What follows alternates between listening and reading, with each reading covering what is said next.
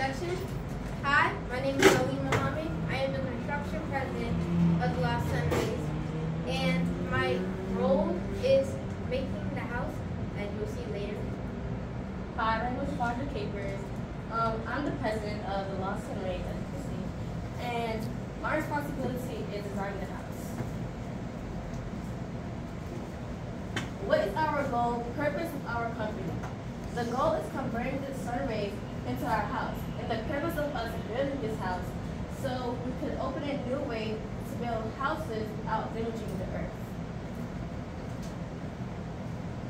Our site location is St. Nicholas Beach.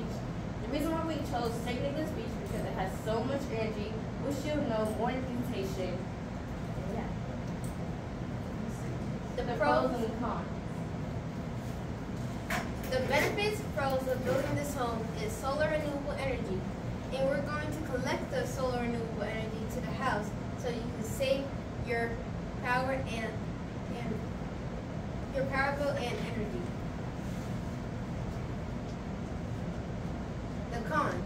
The cons of this home is the solar panels may take up at night and less power is produced during the winter or in very cloudy weather, even though it is not likely. Our company energy saving plan. Saving plan is using solar power for our home because all the sunlight directed into our area.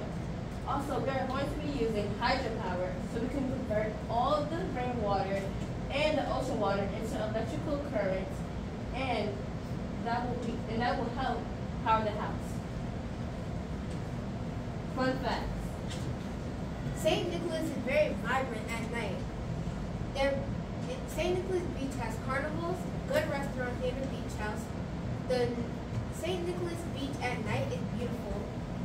They, they have many, they have horse carriages and they have, oh, for you to ride with you and your shawty, babe.